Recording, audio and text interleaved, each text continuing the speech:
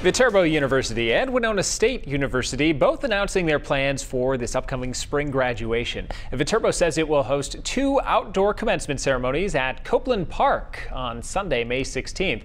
The graduates will be issued a limited number of tickets for guests to allow for social distancing.